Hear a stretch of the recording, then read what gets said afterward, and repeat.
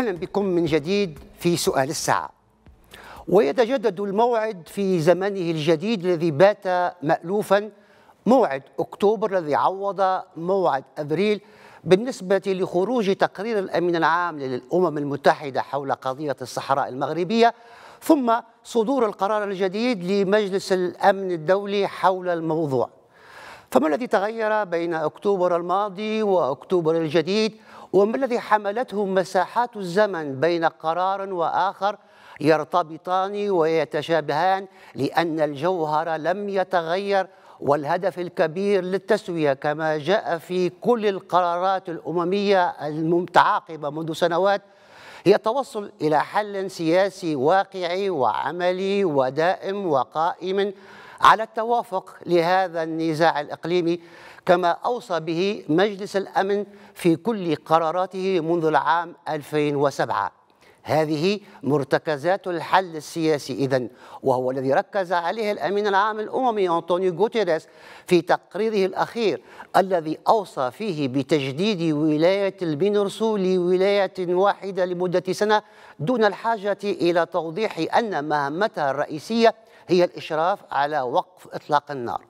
وقد وجه التقرير انتقادات حادة لجبهة البوليساريو بسبب الانتهاكات الخطيرة والجسيمة لاتفاق وقف إطلاق النار والاتفاقات العسكرية وقرارات مجلس الأمن ولا سيما في الجرجرات الجرجرات التي تتواصل فيها استفزازات البوليساريو وعرقلة حركة السير ما دفع وزير الشؤون الخارجية والتعاون الإفريقي والمغاربة المقيمين بالخارج إلى القول نحن نرى اليوم قطاع طرق بالمعنى الحقيقي وهذا لن يؤثر على المسار الذي اتخذه المغرب والذي يمضي فيه.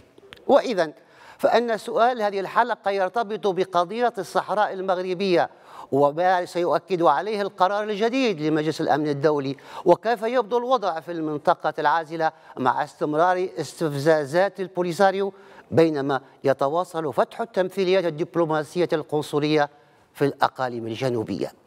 والإحاطة بمختلف جوانبه. يسعدني أن أستضيف الأستاذ عبد الفتاح بالعمشي أستاذ باحث بجامعة القاضي عياض أستاذ العلاقات الدولية بجامعة القاضي عياض. مرحبا أستاذ عبد الفتاح. مساء الخير أستاذي العزيز. والأستاذ محمد بودن المحلل السياسي من الرباط. مرحبا أستاذ محمد بودن. أهلا وسهلا سيد إبراهيم وعيد مبارك سعيد. شكرا جزيلا. اذا أستاذ عبد الفتاح بالعمشي مجلس الأمن الدولي أجل جلسته التي كانت آه، مقررة الليلة الماضية وذلك بعدما قررت الأمم المتحدة إلغاء جميع الاجتماعات الحضورية على إثر تأكيد دولة عضو إصابة خمسه من موظفيها. لذا فإن الاجتماع الذي كان مقررا عقده بشأن تمديد مهمة المينورسو تأجل إلى الجمعة وسيعقد عبر تقنية التواصل عن بعد ال video conference لكن مشروع القرار جاهز ويتضمن ما جاء في تقرير الأخير الأمين العام الأممي حول مرتكزات الحل السياسي لهذا النزاع الإقليمي والانتقادات الموجهة لجبهة البوليساريو حول خروقات وقف إطلاق النار والاتفاقات العسكرية وقرارات مجلس الأمن. وهذا ما سيتضمنه القرار الذي هو في النهاية قرار تمديد مهمة بعثة المينورسو لمدة سنة إضافية. صحيح. نحن أمام يعني عشية صدور قرار جديد لمجلس الأمن. وكما أشرتم في تقريركم منذ 2017 نلاحظ أن هناك تحولا عميقا فيما يتعلق بفهم المجتمع الدولي لطرحنا الوطني في حل نزاع الصحراء. اليوم يمكن أن نتحدث عن طفرة جديدة فيما يتعلق بهذه السنة بالضبط حينما تحول يعني الضغط نحو آه، خصوم الوحدة الترابية جراء ما يقومون به من أفعال وأعمال في المنطقة العازلة بالقرقرات هذه المنطقة التي آه، هي تحت وصاية الأمم المتحدة والتي لا نقول تنازل عنها المغرب ولكن المغرب يطرحها وديعة وفي آه، يعني في على عاتق وعلى مسؤولية بعثة الأمم المتحدة في هذه المنطقة. بالمقابل هناك عمل قانوني قانوني جبار تقوم به الدبلوماسية المغربية فيما يتعلق بفتح القنصليات العامة بالأقاليم الجنوبية. نذكر 15 دولة الآن بالإضافة إلى قنصلية فخرية. هذا التصرف وهذا التعامل هو يتوج الآن بإعلان الإمارات العربية المتحدة على أن المغرب لا يتفاعل فقط في محيطه الإفريقي ولكن هناك أيضا مجالات جغرافية اليوم هي مستعدة لكي تقوم بنفس الشيء بالنسبة لدعم طرحنا الوطني من جهة ولتكريس كذلك الموقف الذي عبرت عنه دول مجلس التعاون الخليجي حينما اعتبرت في البيان الختامي للقمة الخليجية المغربية سنة 2016 حينما تحدث هذا البيان الختامي بلغة واضحة على أن قضية الصحراء المغربية هي قضية دول الخليج مجتمعة وبالتالي فهذا الموقف هو استمرارية وهو تكريس عملي لهذا الموقف المشترك لدول مجلس التعاون الخليجي. إذا نحن أمام معطيات قانونية جديدة أمام تصرفات للدولة, لدولة ذات سيادة مع دول يضبطها القانون الدولي انطلاقا من اتفاقيات فيينا للعلاقات القنصلية لسنة 1963 بما يستلزمه ذلك من إجراءات ومساطر لتبادل الوثائق والاتفاق على توسيع العمل القنصلي لهذه الدول في المملكة المغربية. لابد للقرار اليوم قرار مجلس الأمن أن يأخذ بعين الاعتبار كل هذه المعطيات الجديدة والمتناقضة والتي تضيق على الموقف الجزائري من حيث الأفعال التي تقوم بها البوليزاريو سواء في إفريقيا أو في المحيط العربي أو على المستوى الدولي. وأيضا أخذ بعين بعين النظر ما يقوم به المغرب ويمكن اعتباره دبلوماسية هجومية لابد وأن تؤثر وأن تفرغ كل المحاولات التي يقوم بها خصوم الوحدة الترابية من أجل التأثير على موقف الدول الأعضاء في مجلس الأمن المرتقب ليوم الجمعة. أستاذ محمد بودن كما أشرنا في البداية فإن آه، قرار مجلس الأمن سيستند طبعا إلى آه، تقرير الأمين العام للأمم المتحدة الذي طبعا ركز أشار فيه لمرتكزات الحل السياسي ووضحها. نعرف أن تقارير وقرارات مجلس الأمن منذ عام 2007 تشيد بمبادرة الحكم الذاتي. وفي القرار كذلك ينتظر ان يتضمن ما جاء في تقرير الأمين العام الأممي حول الانتهاكات المتعددة لوقف إطلاق النار والاتفاقات العسكرية من جانب البوليزاريو وكذلك قرارات آه، مجلس الأمن آه، مشيرا إلى تسجيل آه، أكثر من ألف انتهاك تقريبا وهو يمثل أرقام قياسية في سجلات الأمم المتحدة. فضلا عن أن جسامة هذه الانتهاكات تبقى أيضا غير مسبوقة. صحيح سي إبراهيم المؤكد أن قرار مجلس الأمن المقبل وأتوقع أن يحمل رقم 2548 آه، سيؤكد على آه، مسألة آه، يعني انتهاكات جبهة البوليزاريو لاتفاق وقف إطلاق النار وكذلك الاتفاق العسكري رقم واحد وأيضا للقرارات الأممية الصادرة خاصة منذ القرار 2351 الصادر في 2017 والذي أكد على ضرورة امتناع جبهة البوليزاريو عن تواجد والقيام بأنشطة ويعني وضع بنايات مسقوفة متحركة في المنطقة العازلة سواء في شقها الجنوبي أو في شقها الشرقي. وبالتأكيد فبعثة المينورسو في طلعات اليومية تقوم برصد هذه الاختراقات وهذه الانتهاكات التي طبعا يمكن القول بأنها فعلا هي أعمال قطاع طرق أعمال المدمنين على معاكسة أنشطة الدول الوطنية في المنطقة فيما يتعلق بمكافحة الإرهاب والجريمة المنظمة. وأيضا لابد من الإشارة إلى أن المجتمع الدولي أصبح يدرك كذلك آه، أنه مسألة إقامة آه، دولة سادسة في المنطقة مسألة مستحيلة. ولذلك فأعتقد بأن معايير الحل تبدو واضحة من خلال التأكيد على معيار التوافق والواقعية والبراغماتية والاستدامة.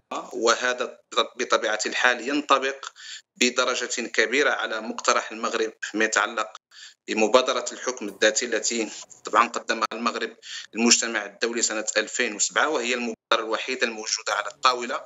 ما تقوم به جبهة البوليزاريو اليوم؟ يمثل في الحقيقة انتهاكا واضحا للقرارات الدولية القرارات الأممية وجرأة على المجتمع الدولي وبالتأكيد فالأمم المتحدة عبر قرارها المقبل ستدعو مرة أخرى جبهة البوليزاريو إلى الامتناع عن القيام بأي نشاط فوق المنطقة العازلة. وبالتأكيد ستكون هناك تدابير عملية وإجراءات فعالية فيما يتعلق بالتعامل مع هذه الانتهاكات.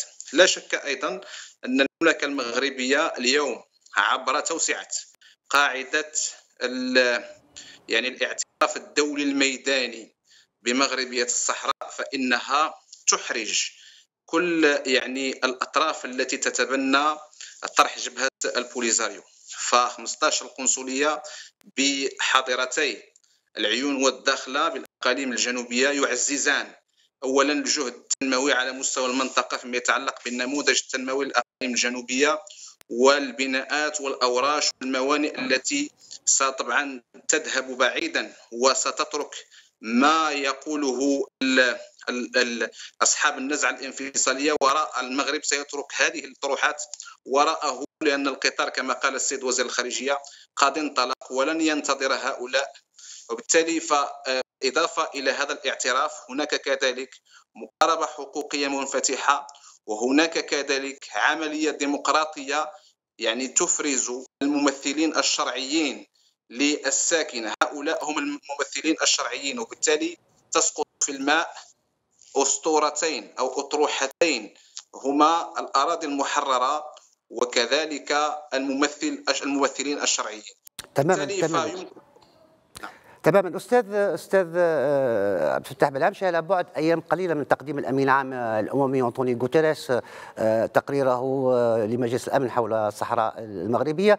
وصلت جبهة البوليساريو خروقاتها في المنطقة ووثقت مروحية تابعة للأمم المتحدة آه، لقوات المينورسو في الأحد 25 من أكتوبر تفاصيل اعتداء جماعة البوليساريو على سائقي الشاحنات المتجهين إلى موريتانيا إتلاف أطنان من الفواكه والخضروات في تحد للمنتظم الأممي آه، آه، الذي دعا عناصر الجبهة إلى الانسحاب من منطقة القرقرات. وكان ستيفان الدجاريك المتحدث باسم الأمين العام قد نذكر بأن حركة السير المدنية والتجارية المنتظمة لا يجب أن تتعرض للعرقلة بالقرقرات ولا يجب اتخاذ أي إجراء آه، من شأنه أن يشكل تغييرا في الوضع القائم في هذه المنطقة. آه، أعتقد بأن الأعمال التي يقوم بها البوليزاريو في هذه المنطقة هي مرفوضة وهي تضع خصوم الوحدة الترابية وهذه الحركة الانفصالية في مواجهة مباشرة مع الأمم المتحدة ومع المهمة التي تقوم بها بعثة المينورسو اليوم نحن أمام تصرف آه، ربما آه، أقل ما يمكن أن يقال أن يقال عنه هو تصرف غير غير معقول ولا يمكن أن يمر بالنسبة للأمم المتحدة بأن تضع يعني الملاحظة وأن تكون حاسمة وصارمة في التعامل مع هذه التصرفات. خاصة أستاذ خاصة أستاذ بالعمشي أن, أن الأمر تكرر أستاذ بالعمشي فنتذكر عام 2017 قبل ثلاث سنوات كذلك كان هناك قرار مجلس الأمن وأشار إلى مسألة القرقرات. بحيث لا يمكن لضبط النفس الذي آه، تعبر عنه المملكة المغربية. في مساعدة الأمم المتحدة في إيجاد تسوية لهذا الملف أن يستمر إلى ما لا نهاية كما أشرت بأن هذه المنطقة هي تراب مغربي. لا أقول بأن آه، يعني الأمم المتحدة لا تمتلك الآن الوصاية بناء الاتفاق ب 1991 بين المغرب والأمم المتحدة لكي تكون هذه المنطقة منطقة عازلة. ولكن من حق المغرب أن أن يرد ويصد أي عدوان على هذا التراب. وبالتالي فإما أن تتحمل الأمم المتحدة المسؤولية كاملة أو أن يكون هناك تصرف ربما في القادم من الأيام. هناك من بين المبادئ الأساسية فيما يتعلق بهذا النوع من المعابر في العالم كله هو الأمان والسلم الذي يجب أن يضمن للعابرين سواء من الأشخاص أو من السلع. وبالتالي فهناك أيضا نوع من عدم الصرامة في التعامل مع هذا الموضوع.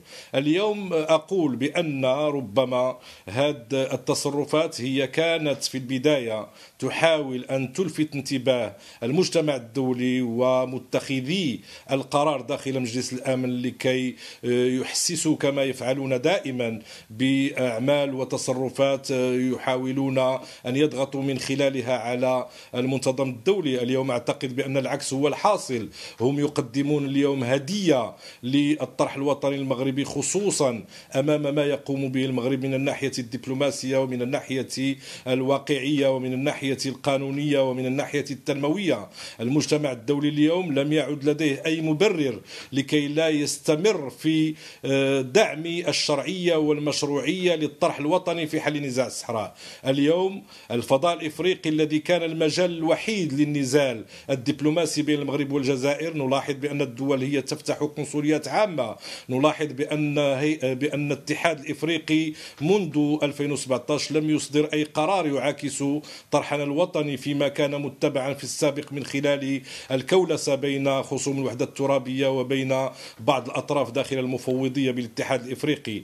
اليوم أعتقد بأن المغرب يسير وفق استراتيجية دبلوماسية وسياسية وتنموية هي تفهم العالم كله بأن المسألة تحتاج فقط إلى قرارات صارمة فيما يتعلق بوضع الحق لأصحابه وفيما يتعلق بالحسم في هذا الملف بالخصوص أمام التطورات الدولية العميقة والاقتصادية جراء جائحة كورونا التي أصبحت تلقي بظلالها على العلاقات الدولية. اليوم المجتمع الدولي ليس في حاجة إلى حل نزاعات من منطلقات سياسية تماما. أو عسكرية. اليوم المنطلق التنموي هو الوحيد الكفيل بحل هذا النوع من النزاعات. تماما تماما أستاذ أستاذ بالعمشي أستاذ محمد بدون نعود إلى القرقرات فإنها فعلا عمليات تخريب ونهب وسلب واستغلال بشع للأطفال آه، والنساء الذين تم استخدامهم على متن عربات عسكرية من مخيمات تندوف إلى القرقرات لخلق آه، توتر جديد في المنطقة. وكأن الأمر يتعلق بعملية عسكرية بامتياز جاءت بعد آه، تسخينات وتصريحات وتهديدات من البوليساريو.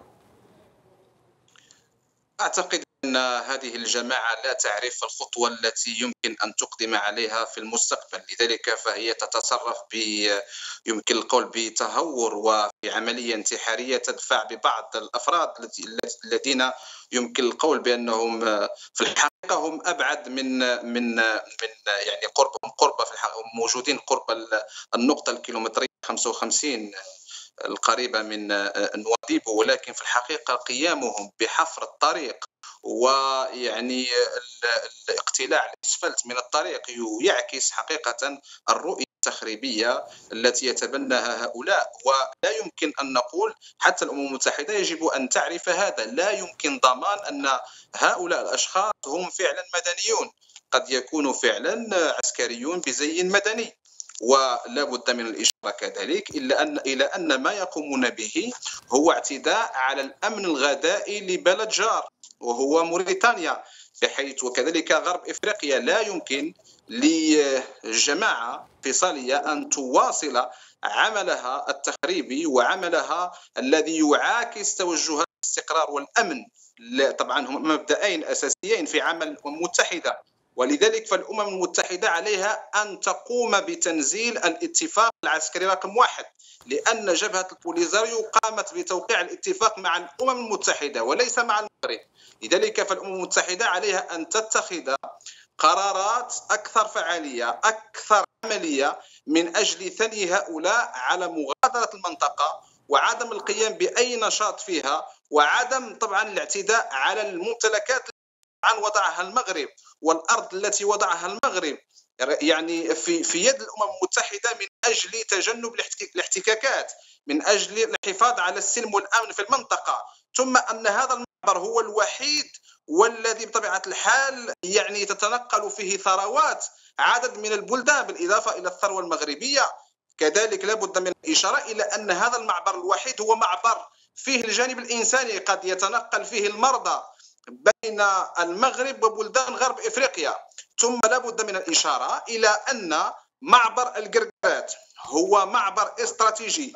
قد تكون للمغرب قد تكون للمغرب طبيعة الحال خطة بديلة عن طريق بناء ميناء وبالتالي الانفتاح البحري على إفريقيا. المغرب لا يمكنه أن يعني تثنيه. هذه الخطوات المترددة وهذه الأفعال التي يمكن القول بانها مدمنة على التخريب وعلى يعني التعامل بالفوضى انطلاقا من الفوضى. المغرب له خيارات كثيرة وقد تكون أمامه خيارات متاحة أخرى وسيستعملها عن طريق الترسانة الدبلوماسية وعن طريق الاليات القانونية. هناك الآن يعني انتهاكات موثقة من طرف بعثة المينورسو بالتاكيد المملكة المغربية عبر القنوات الدبلوماسية تكون قد تواصلت مع محافظ السلام في الأمم المتحدة من أجل تبليغه بهذه الانتهاكات سواء على مستوى القرقرات أو على مستوى مناطق غوينيت وميجك والبر الحلو وتفاريتي وهذه مناطق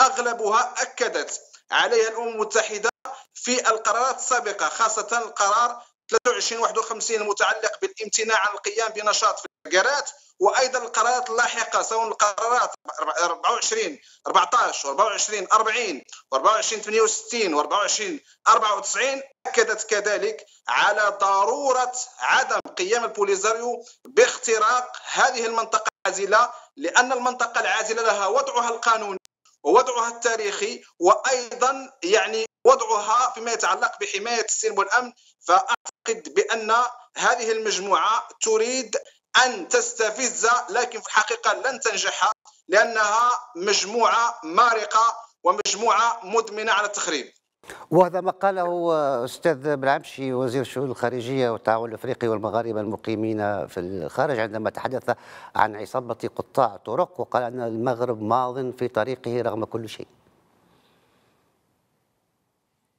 المملكة المغربية ماضية في مسارها وأعتقد بأنه لن ترتهن بال يعني المسار الأممي لأن المملكة المغربية على مستوى المسار التنموي فهي تقوم بعمل تنموي جبار يستفيد منه أهل الصحراء على المستوى يعني مدينة العيون على مستوى مدينة بوشدور على مستوى الداخلة على مستوى مدينة سمارة وغيرها من الحواضر ثم أيضا على المستوى الديمقراطي الانتخابات.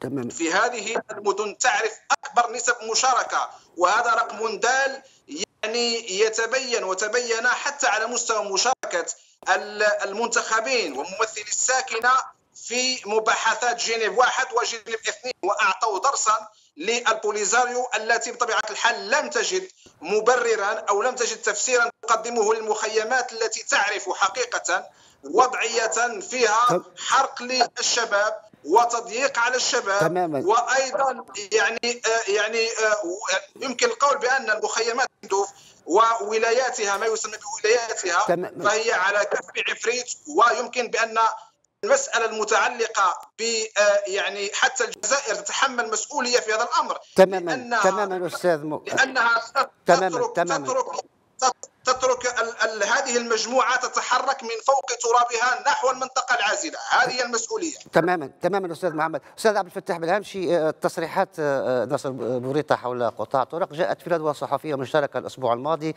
بالداخله مع نظيريه من غينيا بيساو وغينيا السوائيه عقب افتتاح آه، قنصليتي بلديهما بالداخله واعتبر بوريطة أن افتتاح سبع قنصليات الآن بالداخله عشية تخليد الذكرى الخامسة والأربعين للمسيرة الخضراء. يعكس هذه التطورات الإيجابية خاصة فيما يتعلق بدعم مغربية الصحراء من قبل دول شقيقة وصديقة. أه، صحيح ما أشار إليه السيد وزير الخارجية والتعاون وإن كان بلغة واضحة وبخطاب غير مألوف بطبيعة الحال من قبل أه، وزارة الخارجية إلا أنه يبقى خطابا دبلوماسيا. أمام هذه الانتهاكات وهو موجه بالأساس إلى مجلس الأمن الذي سينعقد بحيث أنه لابد من اتخاذ قرارات صارمة لأن كما أشرت بأن ضبط النفس بالنسبة للمغرب وللجنود المغاربة وللمتواجدين وللمتنقلين عبر هذا المعبر لا يمكن أن يستمر إلى ما لا نهاية. من جانب آخر هناك معطيات حقيقية وواقعية وقانونية، هناك وزراء خارجية يزورون المنطقة ويفتتحون قنصليات عامة.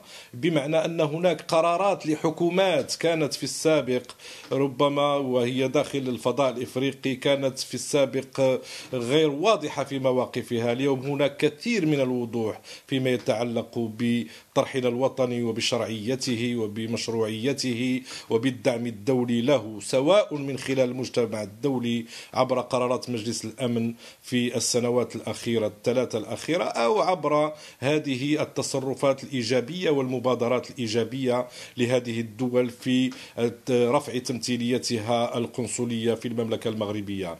اليوم نحن أعتقد أمام تحول استراتيجي فيما يتعلق بقضية وحدتنا الترابية.